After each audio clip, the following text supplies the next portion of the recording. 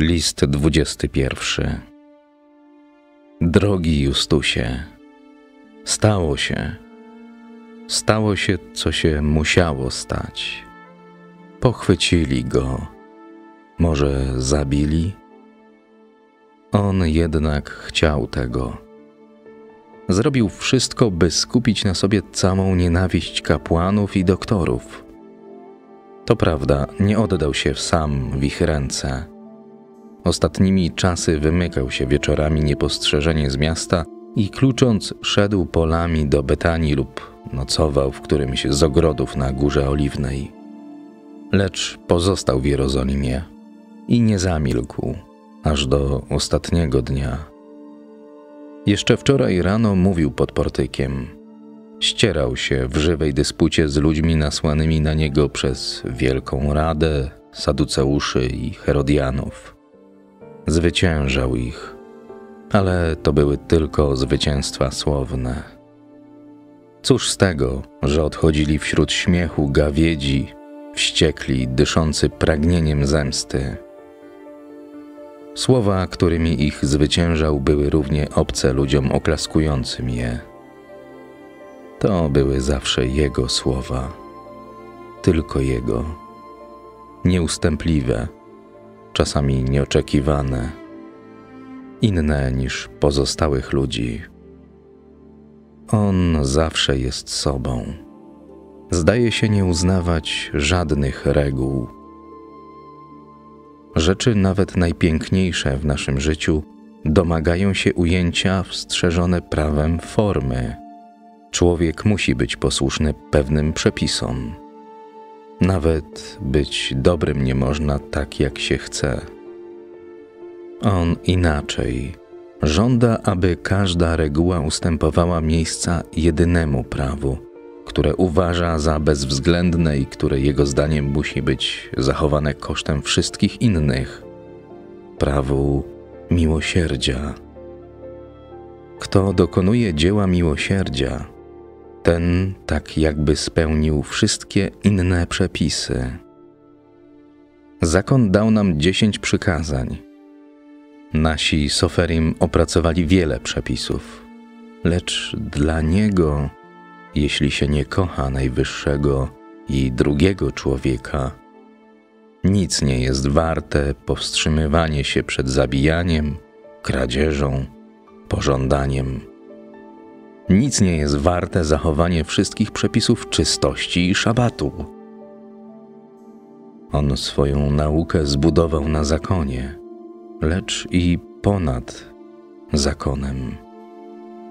To, co w zakonie jest końcem doskonałości ludzkiej, dla niego stanowi dopiero początek.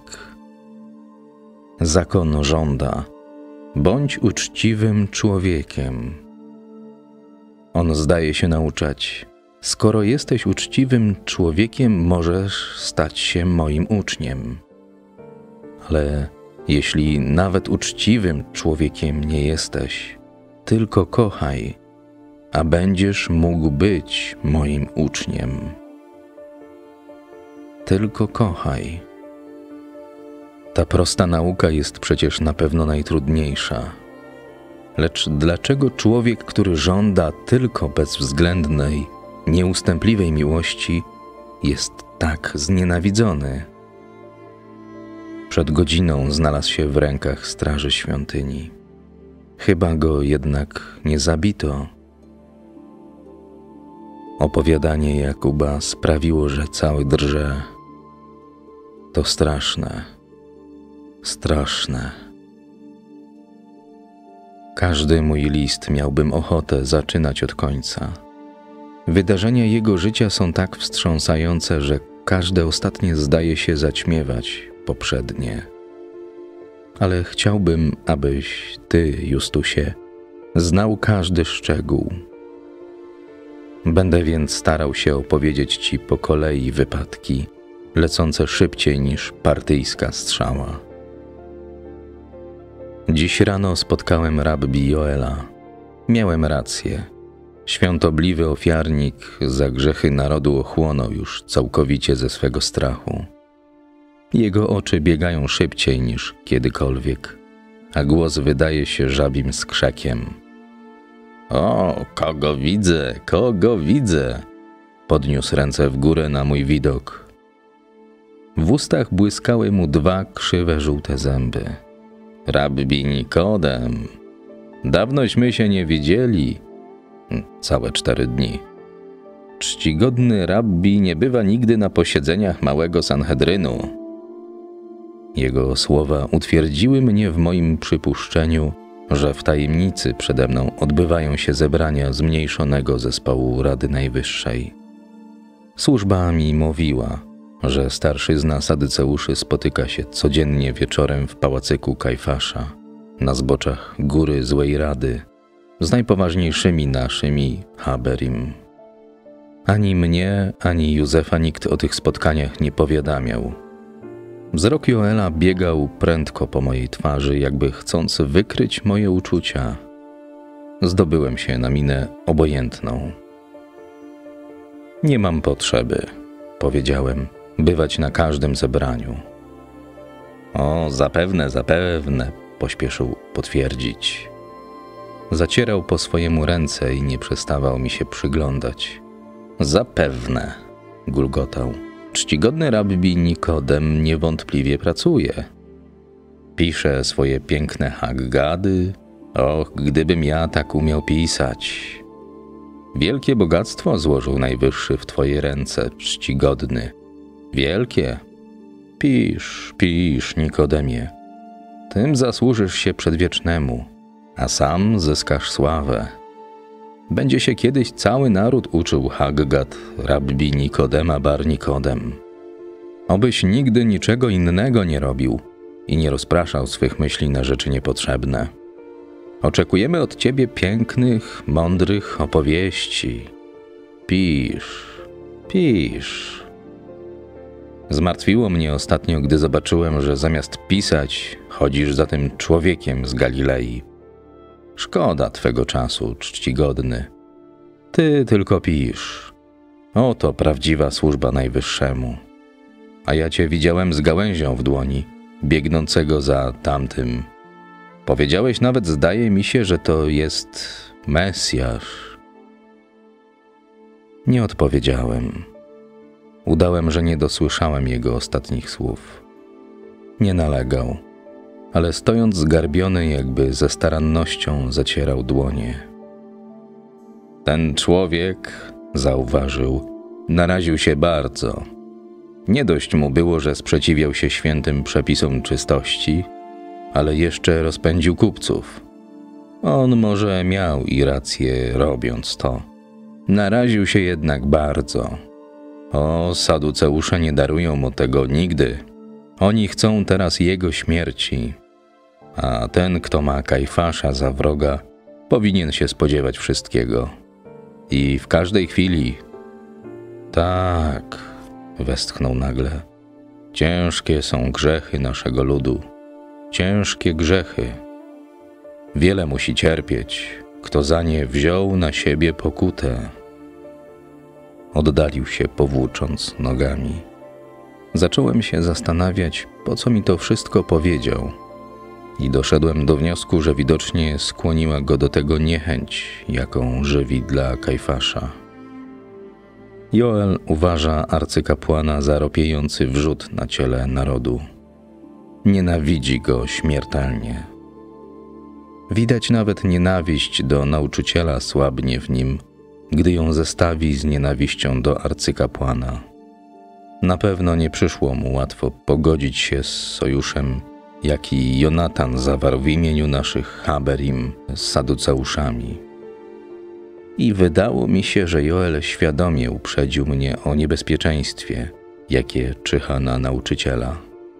To przecież głównie kapłani nalegali, by odłożyć uwięzienie nauczyciela do okresu poświątecznego. Obecnie dotknięci do żywego poniesionymi stratami, gotowi są zapomnieć o ostrożności. Tak sobie wytłumaczywszy słowa Joela, powziąłem postanowienie. Zaledwie zapadł pierwszy zmierzch, wziąłem osła i wyjechałem przez bramę gnojną drogą do Betlejem. Ale Kiedy się już nieco oddaliłem od miasta, skręciłem pod zbocze Góry Oliwnej, by poprzez ogrody dostać się do Betanii. W ten sposób chciałem uniknąć szpiegów, którzy być może śledzą moje kroki. Dom łazarza był tak cichy, że wydawał się całkowicie uśpiony. Uderzyłem kołatką w drzwi i czekałem długo na otworzenie. W końcu rozległy się ciężkie stąpania i na progu stanął łazarz. Próbuje chodzić wsparty na dwóch kijach. Przyznaję, że ilekroć teraz znajduję się z nim oko w oko, odczuwam jakby lęk. Śmierć oddala i wywyższa człowieka. A ja nie mogę zapomnieć, że stałem przed zamkniętym grobem łazarza. Nigdy z nim potem nie mówiłem o tamtych sprawach. A kto wie, może powinienem był to zrobić? Może umiałby mi powiedzieć coś o ród? Tam jedni być może wiedzą coś o drugich. Lecz nie ośmieliłem się postawić mu pytania. Zresztą chyba pamięć Szeolu zniknęła w nim z chwilą powrotu do życia. Czyż wiedząc o tym, jak tam jest, można żyć? Najwyższy z tobą, rabbi, powitał mnie. Wejdź, proszę. Przyjechałeś późno i jesteś pewno zmęczony. Nauczyciel nie śpi. Jesteśmy wszyscy razem. Mówił dziś o tobie. Właśnie chciałem mu coś powiedzieć, więc chodź. Marta zaraz poda ci wody do obmycia. Byli wszyscy na dole, w izbie. Od paleniska bił blask i w jego kręgu widać było gromadkę skupionych ludzi. On siedział po środku, długi, ogromny w swej białej kuttonie, z dłońmi splecionymi na kolanie. Nie mówił nic, patrzył w ogień. Uderzyło mnie od razu, że twarz jego tego wieczoru stała się nieomal twarzą starego człowieka.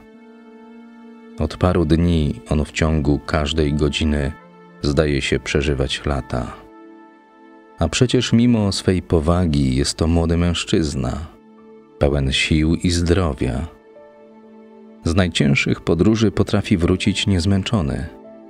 Teraz w jego rysach maluje się wyczerpanie, ubytek energii, jakby jakieś ugięcie się pod brzemieniem trosk.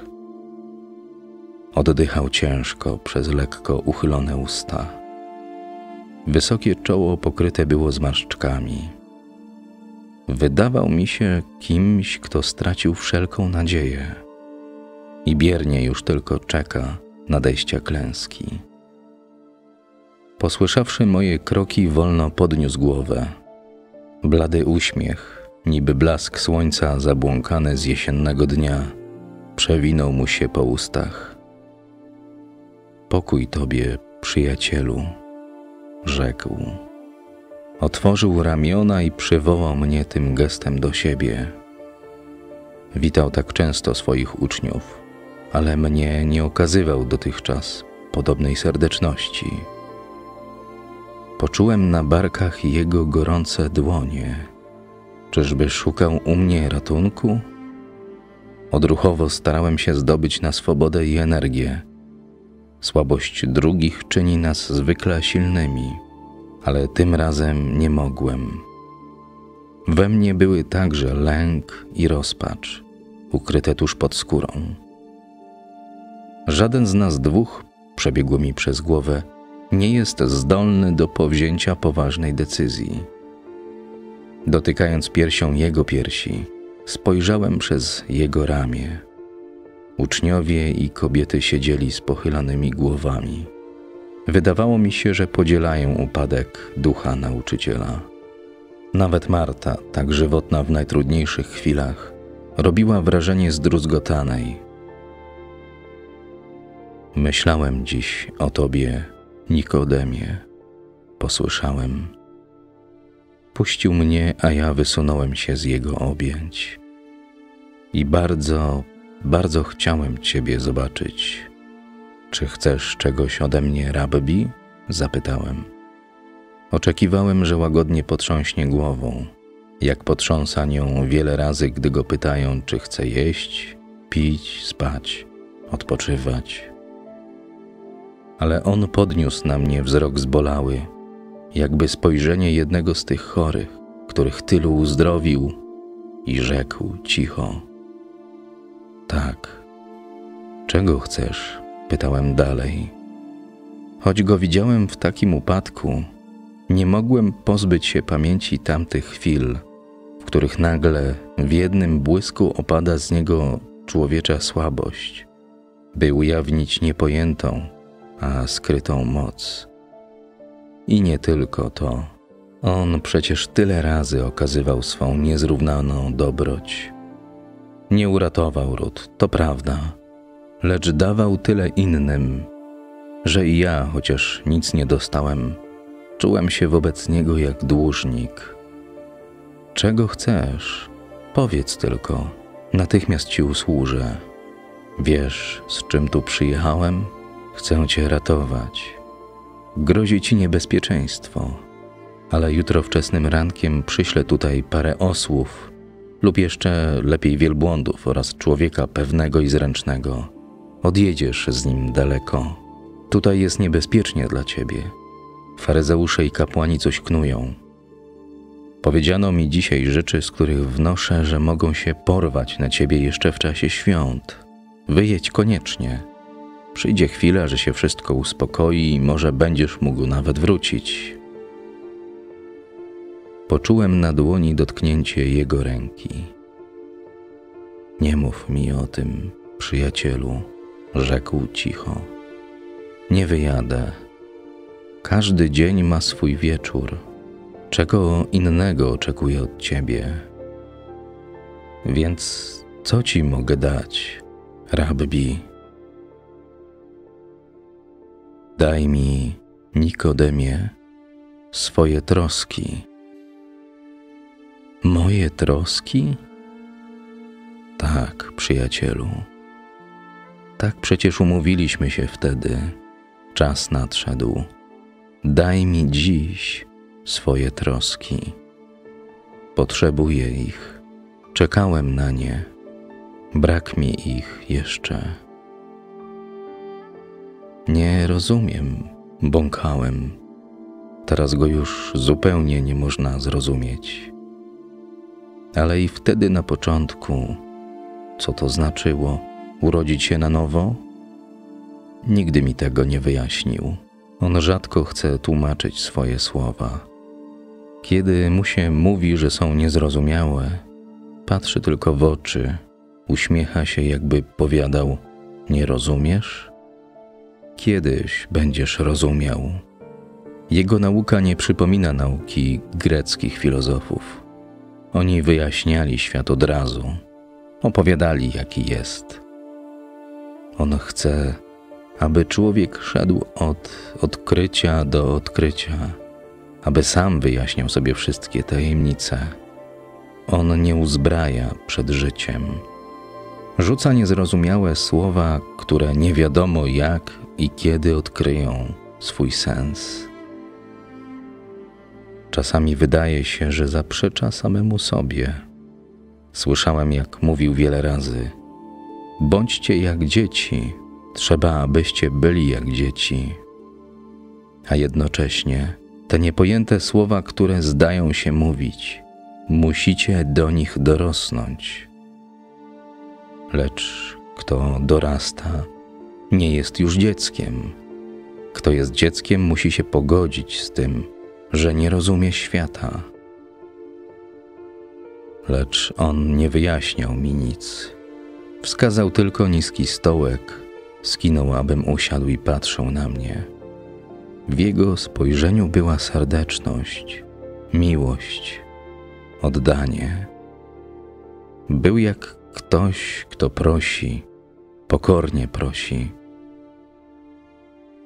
Jeszcze raz powtórzył: Daj mi swoje troski.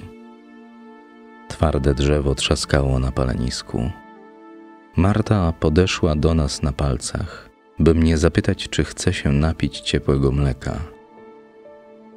Daj mi swoje troski, myślałem. To by brzmiało jak szyderstwo, gdyby on potrafił szydzić. Oczywiście gotów jestem zaraz je oddać. Nie skąpię ich. Nie pragnę ich dla siebie.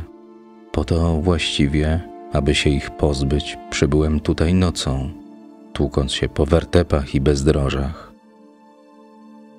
Przywiozłem je ze sobą razem z kieską, którą mam u pasa. Ale one tutaj jeszcze urosły. Daj mi swoje troski, i wtedy ich ode mnie nie wziął. Z nadglinianego garnka patrzyłem na nauczyciela.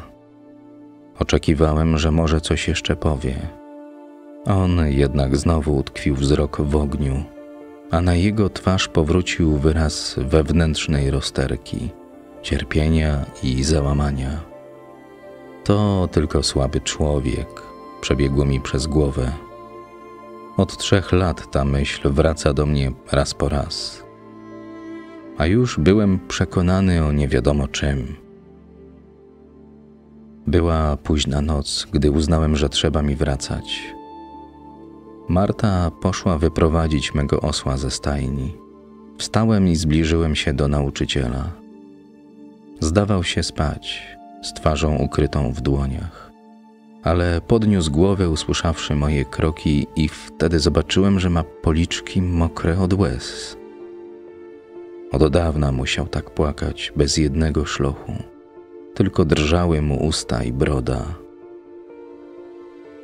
Przedwieczny niech będzie z tobą, rabbi, powiedziałem. Odchodzisz? Zapytał. Idę. Noc późna.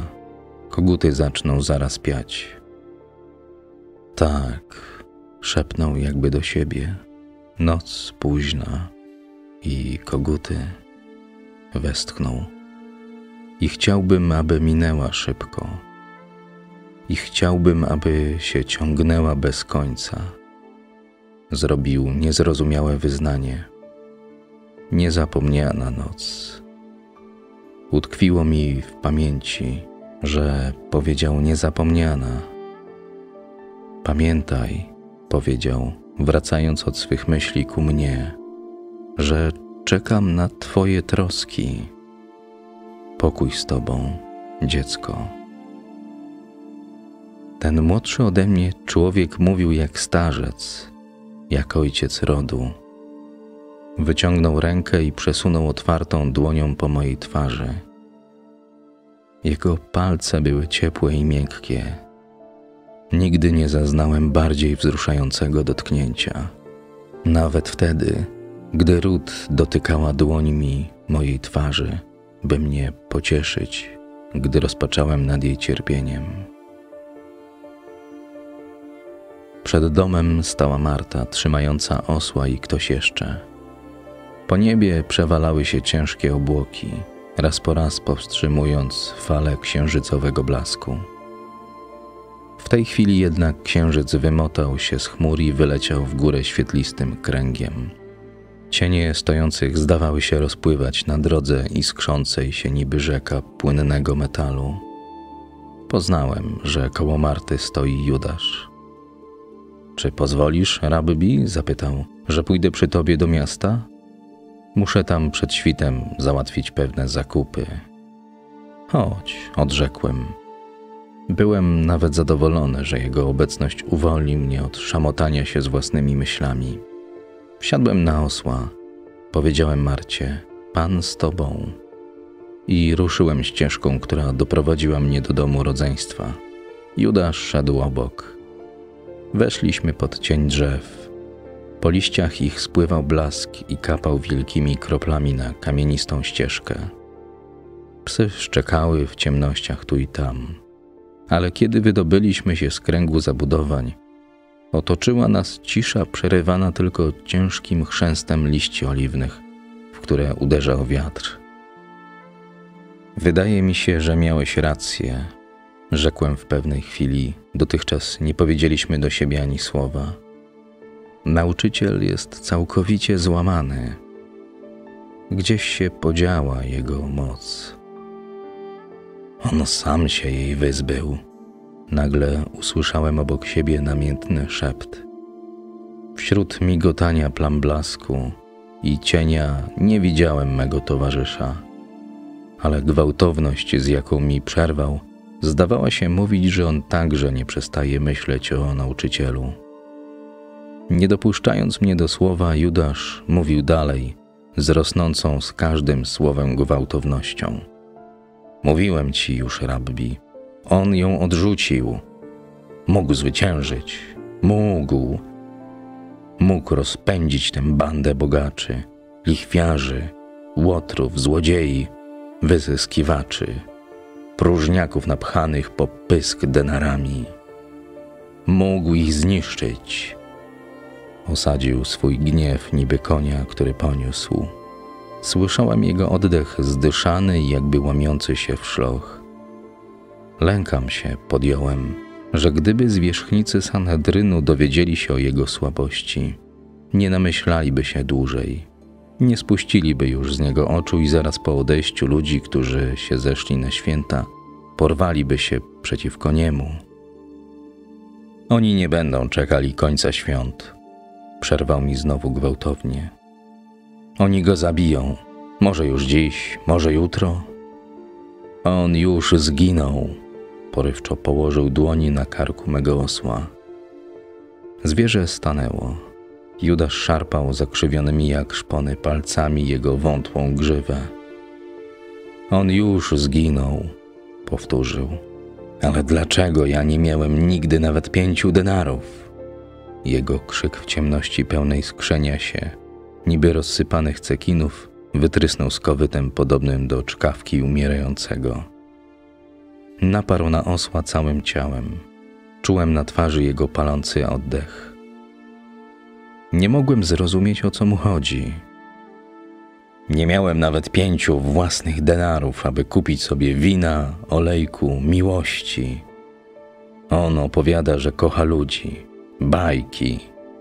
On nie rozumie, że człowieka nie będzie nikt nigdy kochał, gdy jest dziadem, nędzarzem, żebrakiem. Jemu dawali pieniądze, ale on jakby ich nie miał. Ja tak nie mogłem. Głos Judasza dygotał. Dzwoniły mu zęby. Nie mogłem, nie mogłem. Nigdy wina, nigdy przyjaciół, nigdy czegoś lepszego na karku, nigdy kobiety, która by sama, sama. Znowu powtarzał spazmatycznie. Nie mogłem, nie mogłem, nie mogłem. Leżąc prawie na ośle, wychylił nagle głowę z mroku jakby ją wyszarpnął spod woalu lub wyjął z wody. Księżyc zaświecił mu prosto w twarz, zmył z niej kolory, zmarszczki, cienie. Była teraz biała i pozbawiona życia, niby twarz posągu. Dolna szczęka upadła jak u trupa. Jedźmy jednak, powiedziałem. Chwiejnie odstąpił od osła Ruszyliśmy. Słyszałem jego ciężkie stąpania. Wlókł się obok mnie krokiem pijanego. Można by myśleć, że ten wybuch pozbawił go całkowicie sił. Oddychał głośno, ze świstem. Potem usłyszałem, że coś brzęczy. Miał widocznie w dłoni kilka monet. Z uporczywością podrzucał je w górę i łapał. Musiało się w nim wszystko gotować. Ścieżka prowadziła w głąb czarnego parowu. Osioł zwolnił kroku i ostrożnie stawiał nogę za nogą. Słyszałem stukot jego kopyt na płaskich kamieniach. Nad nami była skalna krawędź, ciemna, lecz jakby parująca, ucinającym się na niej blaskiem. Chłód rozpadliny, czy może wewnętrzna rozterka, kazały mi drżeć. Co on mówił? Przypominałem sobie Daj mi swe troski. Co to znaczy? Może to jedna z jego tajemnic, straszna i bolesna, lecz jak wszystkie jego tajemnice kryjąca na dnie nieoczekiwany spokój? A może to tylko półprzytomne słowa człowieka wtrąconego w rozpacz? Ostatnia z nim rozmowa kazała mi wrócić myślą do tamtej rozmowy na górze.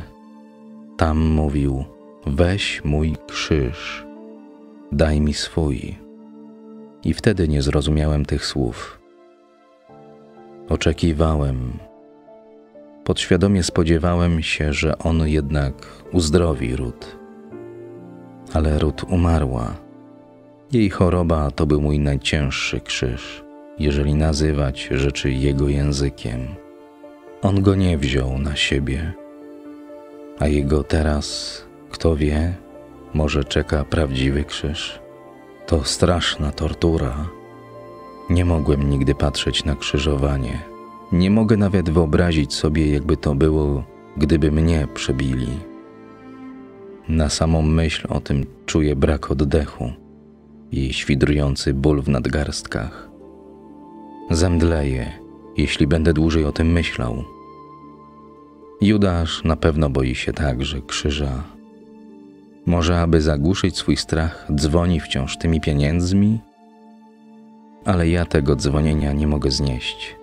Chciałem na niego krzyknąć, aby przestał podrzucać monety. Powstrzymałem się jednak. Bałem się, że moje słowa wywołają znowu potop jego szaleńczych słów. Milcząc, jechałem dalej wśród plam księżycowego blasku, które zdawały się podskakiwać i swoim migotaniem oślepiały mnie. A Judasz szedł i ciągle brzęczał swymi syklami. Rankiem zaszedłem do warsztatu, który się znajduje tuż obok mego domu.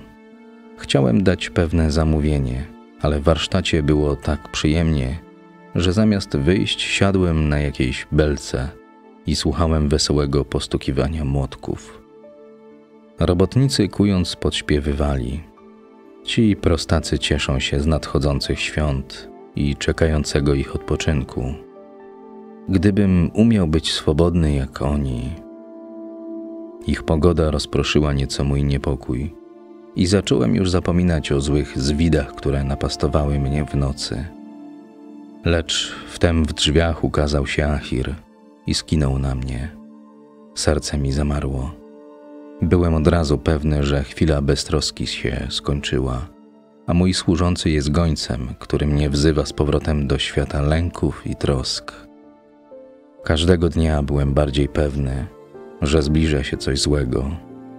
Teraz po geście głowy Achira poznałem, że już przyszło.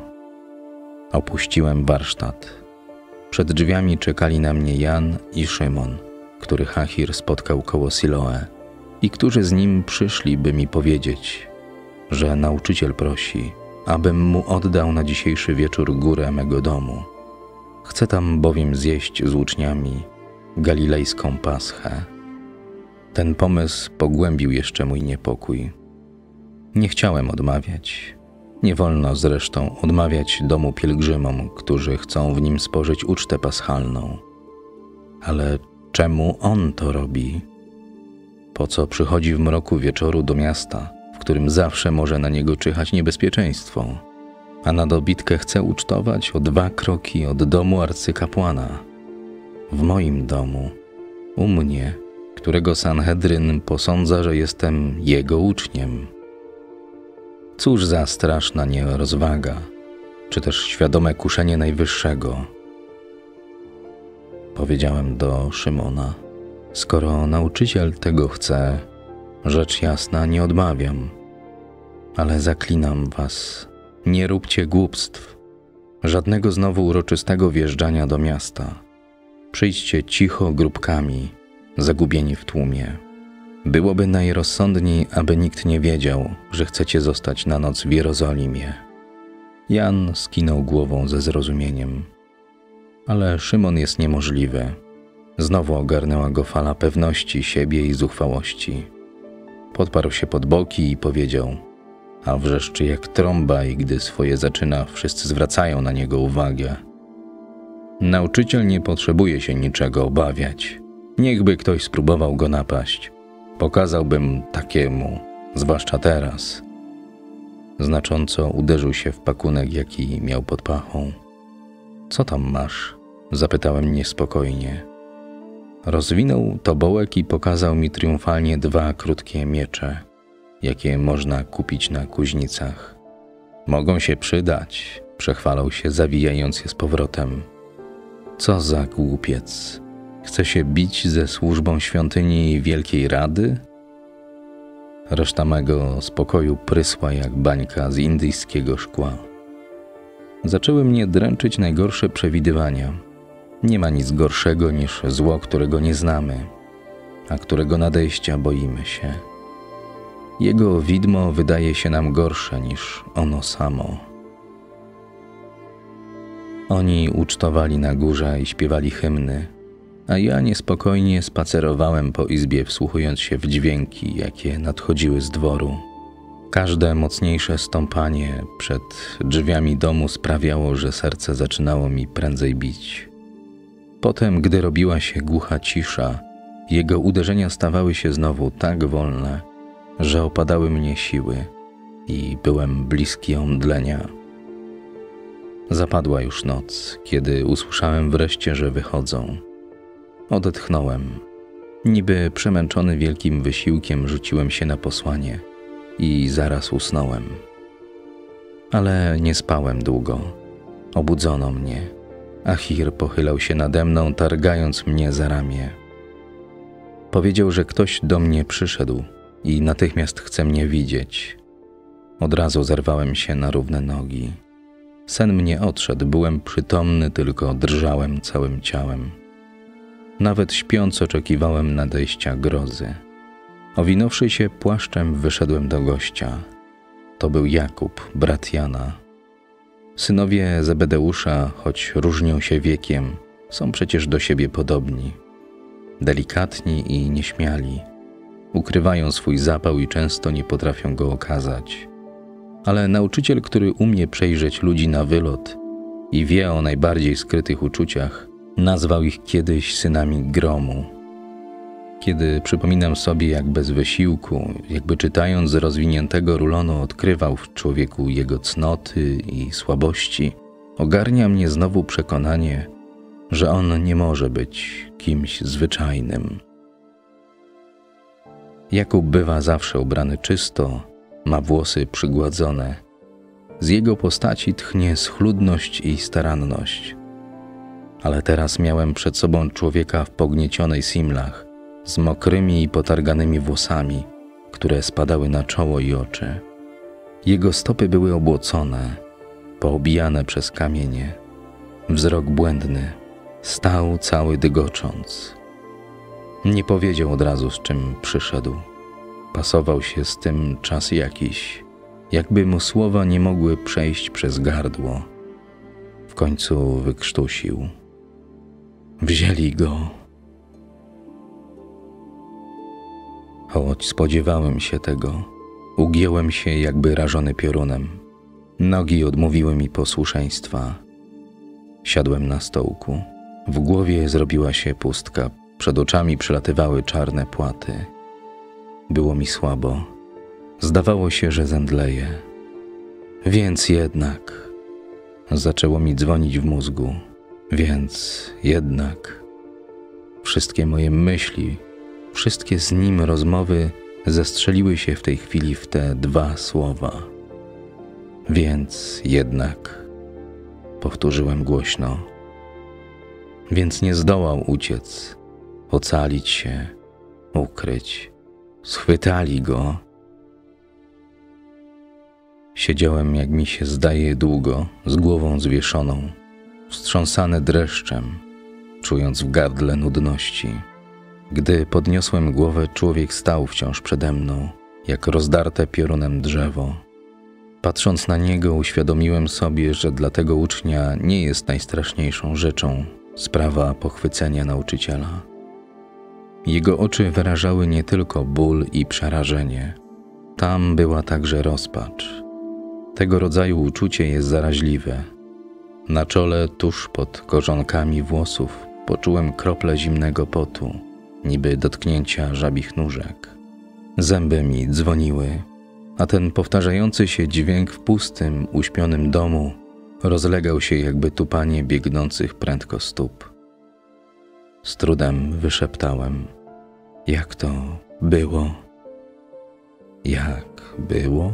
Powtórzył wolno, jakby nie rozumiał tego pytania, jakby sam musiał sobie dopiero wytłumaczyć to, co się stało. Niepewnie, zająkując się, podjął. Jedliśmy paschę w Twoim domu, rabbi, zwyczajnie. On, on był smutny. Od paru dni był smutny. Widziałeś to pewno. Mówił, nie wiem, nie rozumiałem wszystkiego. Powiedział, że niedługo odejdzie i znowu niedługo powróci, bo nie chce, abyśmy zostali jak sieroty. Może go wypuszczą? Jak myślisz, rabbi? Z powątpiewaniem potrząsnąłem głową. Słyszałem, jak mocno, boleśnie przełknął ślinę. Mówiliśmy, że pójdziemy z nim gdzie trzeba i że nie boimy się nawet śmierci. Uśmiechnął się, jakby nie wierzył, i mówił, abyśmy się kochali, jak nikt się nie kocha. Mamy pamiętać, On jest zawsze przy nas i że dla Jego miłości mamy wypełniać naszą powinność. Długo, długo mówił, nie powtórzę wszystkiego. Po posiłku umył nam nogi. Piotr nie chciał zezwolić, ale on rzekł, że tak trzeba, więc się zgodził i my wszyscy. A potem, chociaż pascha była już skończona, wziął chleb i zaczął nam go dawać, każdemu. Potem wino, także każdemu. I mówił tak jak wtedy, gdy ludzie odeszli oburzeni, że to jest teraz Jego ciało, Jego krew i że mamy je jeść i pić. Ale to był dalej tylko chleb i wino, ale nie wiedzieliśmy, co myśleć. Potem zaraz Judasz wyszedł. Nauczyciel coś mu powiedział i jeszcze napomniał: Rób szybciej. Znowu mówił, żebyśmy się kochali i że kto jego widzi, widzi i ojca. Bo Filip zapytał, jaki jest ojciec i że chcielibyśmy, aby go nam pokazał.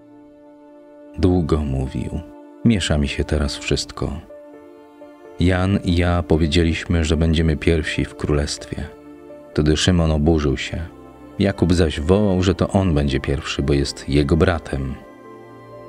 Ale nauczyciel kazał się nam uciszyć. Rzekł, że na świecie królowie są pierwszymi, ale w jego królestwie ten, kto jest pierwszy, musi być jak najniższy służący. A wreszcie zapytał, czy nam czego brakło, gdyśmy z nim chodzili po Galilei, Perei, Samarii i Judei. Powiedzieliśmy mu, że niczego, bo to prawda. Zawsze było co zjeść i wypić, choć Pan zakazywał się troszczyć o dzień następny. Ale teraz powiedział: Już tak nie będzie. Teraz mówił: Musicie myśleć o torbie na sykle i na zapasy. A kto torby nie ma, niech sprzeda Simlach i kupi sobie miecz. Wtedy Szymon krzyknął, że już miecze są kupione i położył przed nim dwa. Ogarnął nas zapał.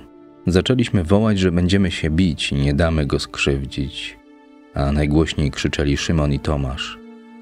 On jednak nawet nie spojrzał na miecze. Siedział chwilę z głową spartą na rękach, z twarzą ukrytą w dłoniach, jakbyśmy mu zrobili wielką przykrość. Potem wstał i rzekł: Dosyć, chodźmy już stąd. Noc była późna. Księżyc wzeszedł nad wieżę świątyni. W pałacu arcykapłana paliły się światła i słychać było głosy. Byłem zdziwiony, że tam nie śpią mimo późnej pory. Ruszyliśmy cicho w stronę Ofelu. Nagle jakaś postać stanęła przed nami. To była Maryja. Siedziała poprzednio pod krzywą figą i czekała, widać, aż wyjdziemy. Teraz prędko szła naprzeciw nauczyciela. Zatrzymaliśmy się. Tych dwoje stało obok siebie pod centkami księżycowego blasku, przesianego przez bezlistne gałęzie drzew. Synu, dosłyszałem, jak mówiła, błagam cię, nie idź, proszę cię. Jeszcze coś dodała, ale jej szept stał się niewyraźny. Potem on mówił także cicho, tylko dla niej. Nagle wykrzyknęła, cofnęła się, zasłoniła twarz, podszedł do niej. Pochylił się nad nią, położył palce na jej policzkach i gładził je, jakby to on był matką, która chce zetrzeć ból i łzy z twarzy swego dziecka. Nie mówił już nic. To trwało chwilę. Potem odsunął ją na bok. Jeszcze jakby mu się opierała. Jeszcze jej ręce czepiały się jego płaszcza. Lecz on już poszedł w dół ku bramie źródlanej. Nie obejrzał się. Zawołała za nim prędko. Będę z tobą. Żaden z nas nie wiedział, co to miało oznaczać. Minęliśmy ją, stojącą nieruchomo pod figą, z wyciągniętymi rękami. Stępowaliśmy w dół, w mrok ku sadzawce. Ofel leżał z lewej strony niby las krzewów, ciemną gęstwą domów, nad nim spoza portyku jarzyła się świątynia. Znowu wydawała się ogromem piękna i potęgi. A pamiętasz Rabybi? On powiedział, że nie zostanie z niej kamień na kamieniu. Czy to możliwe? Powiedz sam, Rabbi, bo mnie się zdaje, że tak nie będzie. Jemu tylko się zdawało, że zwycięży ludzi świątyni, ale to oni go zwyciężyli. Któż by zdołał rozwalić takie mury na tej skale? Pociągnął nosem. Po chwilowej przerwie podjął znowu. Z prawej strony, gdzie mur załamuje się przy wieży nad bramą gnojną, cały ten kąt zapchany jest namiotami przybyszów, którzy ściągnęli na święta. Minęliśmy bramę, schodziliśmy dalej w dół. Cedron szumi w nocy niby morze w czas burzy. Ledwo wyszliśmy z miasta, on znowu zaczął mówić. Zatrzymał się przy krzewie winnym, położył na nim rękę. Powiedział – Jesteśmy jak ten krzew. Ja to pień, a wy gałęzie. Znowu powtarzał, abyśmy się kochali. Kochajcie się, mówił. Kochajcie zawsze. Kochajcie zwłaszcza w godzinie najtrudniejszej. Nie rozumieliśmy go. Trącaliśmy się łokciami. On to widział. Zrozumiecie wszystko, rzekł skoro wam przyślę pocieszyciela. On was wszystkiego nauczy. Trzeba, abym odszedł, bo inaczej pocieszyciel nie przyjdzie. Ja zaś odejdę do Ojca. Wtedy mnie i Janowi wydało się, żeśmy go zrozumieli. On był kiedyś z nami i z Szymonem na górze. Nie mówiliśmy o tym nikomu, bo kazał milczeć. Tam nie wiem doprawdy, czy ci mogę o tym powiedzieć, rabbi, ale myśmy pomyśleli, że on idzie do swego ojca. Tak właśnie, jak wtedy na tej górze. I że stanie się znowu cud, tylko teraz zobaczą go wszyscy, cały świat. Więc powiedzieliśmy, że teraz wierzymy już we wszystko, co on mówił. Ale on zamiast się ucieszyć, Spojrzał na nas smutno, jak wtedy, gdyśmy się przekrzykiwali, kto będzie pierwszy w królestwie. Teraz już wierzycie? Przygryzł wargi. Przyszedł czas, że uciekniecie i zostawicie mnie samego, powiedział. Ale ja nie jestem sam. Potem stanął i modlił się, rozłożywszy ręce. Księżyc wstępował coraz wyżej i lał blask niby wodę z konwi w głąb wąwozu. Byliśmy zmęczeni. W ciągu ostatnich dni sypialiśmy mało. W głowach nam szumiało od tylu usłyszanych słów. Noga za nogą ciągnęliśmy przez most. On postanowił, że przenocuje w ogrodzie oliwnej tłoczni. Ledwo stanęliśmy pod drzewami w miękkim mroku, zaczęliśmy zdejmować z siebie płaszcze i rozkładać je na ziemi. Ale nauczyciel nie usiadł. Stał w ciemnościach jak biała pogańska rzeźba. Śpijcie tu, powiedział. Ja będę tam dalej. Nikt z nas się temu nie dziwił. On często modlił się nocą, gdy myśmy spali zmęczeni dniem. Ale odchodząc zawołał na mnie, na Jana i na Szymona. Chodźcie ze mną. Podeszliśmy pod starczącą skałę. Zatrzymał się, rzekł: Czuwajcie i módlcie się. Ja także będę się modlił. Smutno mi jak człowiekowi, który umiera. Powiedział to takim głosem, że wszyscy trzej podnieśliśmy na niego oczy. Jeszcze nigdy tak do nas nie mówił. Od dnia uczty u łazarza był smutny, ale ten smutek nie przeszkadzał mu mówić do nas i nauczać. Jeszcze przed chwilą przemawiał spokojnie. Teraz jednak ten spokój pękł, jak pęka bańka na powierzchni wody. Wydał mi się człowiekiem wystraszonym, ogarniętym rozpaczą. Módlcie się, czuwajcie, powtarzał kilka razy. Duch jest pełen zapału, ale ciało takie nędzne. Wolno, jakby nogi uginały się pod nim, oddalił się, niedaleko jednak. Tyle, ile by ścisnął kamieniem. Tam świecił blask, więc widzieliśmy go, jak padł na kolana, twarzą do ziemi. Szymon powiedział: Módlmy się, skoro rabbi tego chce. Nie klękaliśmy, bo byliśmy bardzo zmęczeni, tylko powtarzaliśmy słowa Hallelu. Ale Jan zaraz zasnął. Taki chłopak jak on nie umie czuwać. Nieraz nam zasypiał na łódce. Mnie zresztą powieki ciążyły i modlitwa zastygła na ustach. Ani się spostrzegłem, kiedy posłyszałem, że Szymon chrapie. Ocknąłem się. Nie byłem pewny, czy czuwałem cały czas, czy też spałem. Przyszło mi jednak do głowy, że pewno już nie trzeba czuwać. Oparłem głowę o pień.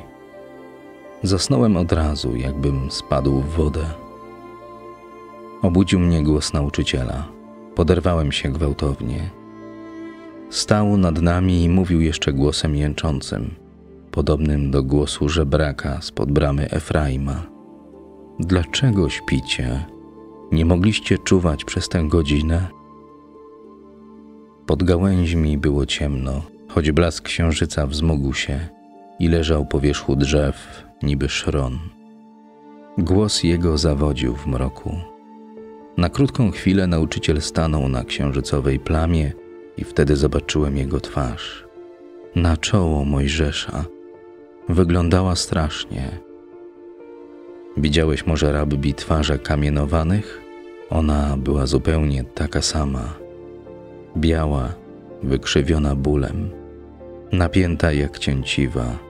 Nie, źle mówię. Nie jak twarze kamienowanych, jak twarz uduszonego, który dusił się wolno i walczył aż do końca o każdy łyk powietrza. Noc była lodowata, lecz jego czoło mokre od potu. Niektóre krople spływały ciemnymi wężykami, jakby nie były potem, ale krwią. Jego oddech mieszał się z rzężeniem. Zaniemówiliśmy. Naprawdę nie wiedziałem, co mu się mogło stać. Gdybym mógł, zerwałbym się na równe nogi i uciekłbym z krzykiem, jak od złego snu. Ale byłem jak przykuty do ziemi. On stał nad nami, bełkocząc słowa, które padały wśród tego orzężenia, jak iskry z ostrzonego noża. Mówił cicho, mnie jednak wydawało się, że krzyczy. I wiesz, jak krzyczy? Jak kaleka żebrak, który nie może przecisnąć się przez tłum. Tyle razy słyszeliśmy ten krzyk spoza ciżby. Ptasi, lamentujący, żałosny. A teraz to jego głos wydawał się takim wołaniem. Dlaczego śpicie? powtarzał. Dlaczego śpicie?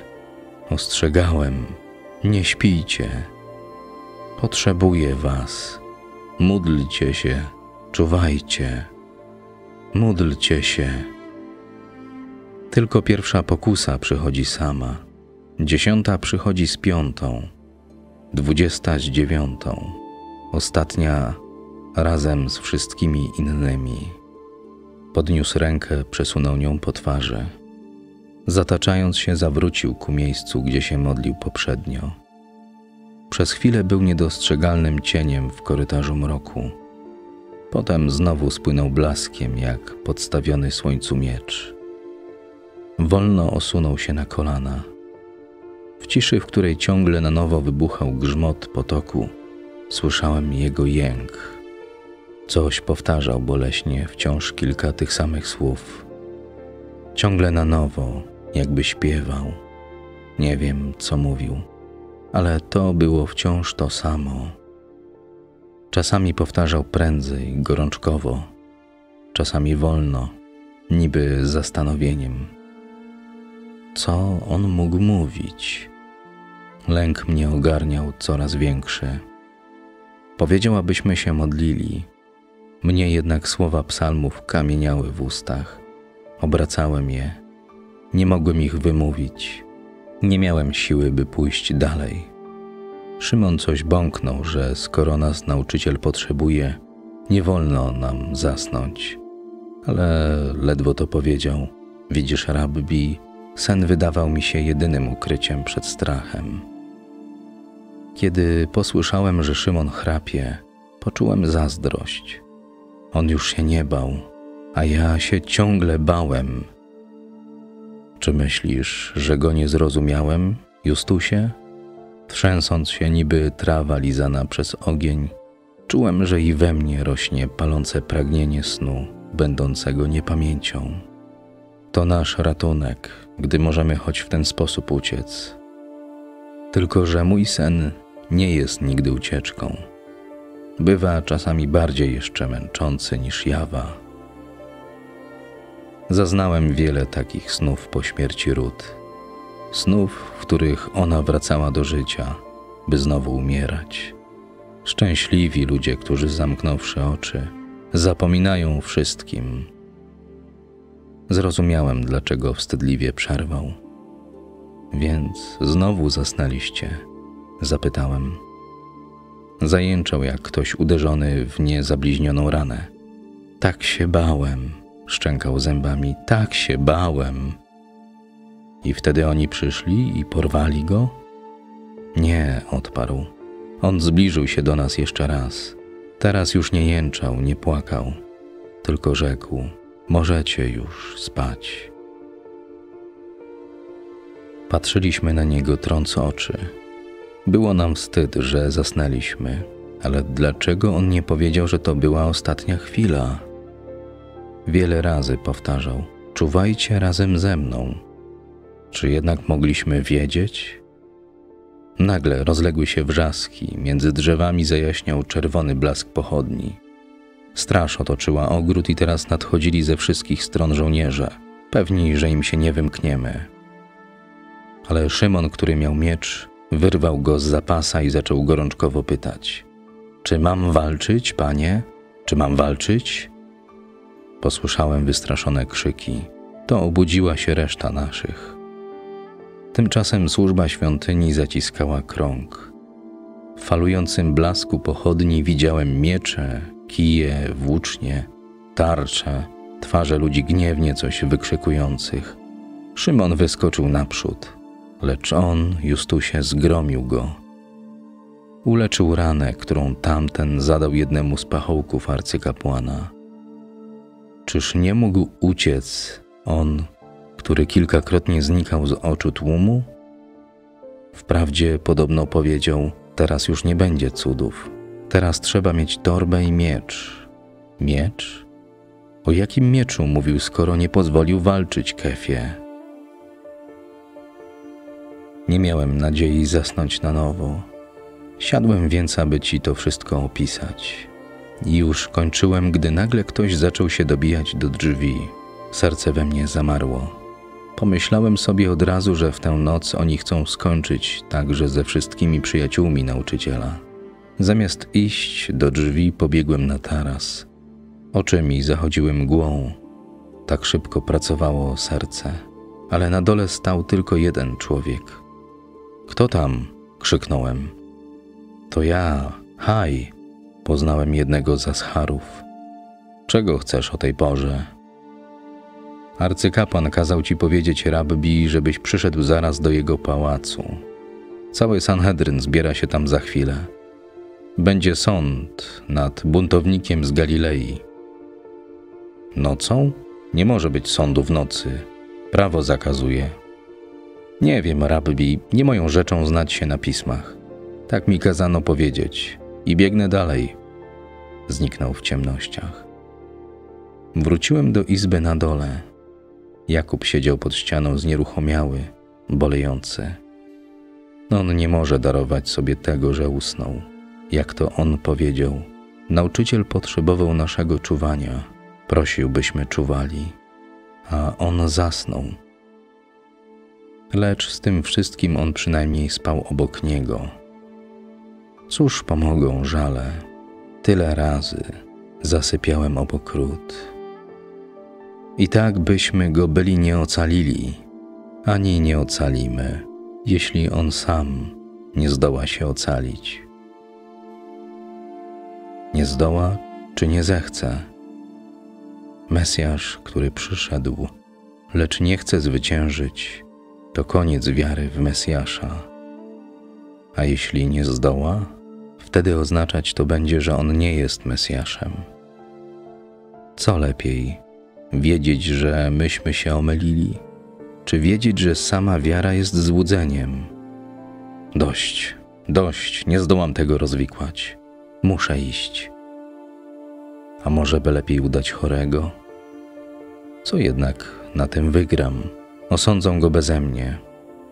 Lecz jeśli on tylko dlatego oddał się w ich ręce, aby wobec ich sądu ukazać całą swoją moc, byłbym wtedy jak pływak, który tonie przy samym brzegu. Nie, trzeba iść. Trzeba okazać się mężnym. Trzeba stoczyć o niego walkę. Nie chcę być jak ten Jakub, który płacze i nie śmie wychylić głowy na ulicę. Nie zaznałem, to prawda, upajających dni galilejskich. Przyszedłem na końcu, na ostatnią chwilę, jak ten spóźniony robotnik do winnicy z jego maszalu. Myślałem, że to będzie chwila triumfu, a tymczasem to jest chwila gorzkiej klęski. Trudno, tak bywa, gdy gra jest ryzykowna. Może będę żałował wszystkich swoich wahań, a może będę sobie wyrzucał, że nie zawahałem się raz jeszcze. Dość jednak. Trzeba w końcu być kimś.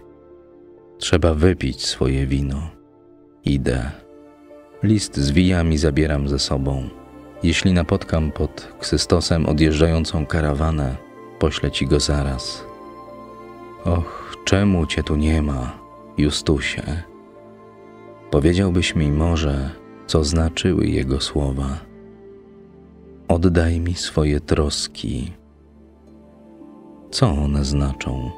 Dlaczego on chce wziąć moje troski? Jak to zrobić, aby mu je oddać? Niestety, nikt mi na to nie odpowie. O Justusie, gdybyś mi chociaż umiał powiedzieć, czy on jeszcze czeka. Bo mówił: Czekam, pamiętaj, że na nie czekam. Mówił, jak mówi o wodzie człowiek na pustyni, lecz teraz jest więźniem, któremu grozi śmierć. Czy mogę więźniowi dołożyć jeszcze ciężaru? A przecież jeśli nie on, to kto? Kto? Tylko on takich gorąco pragnął.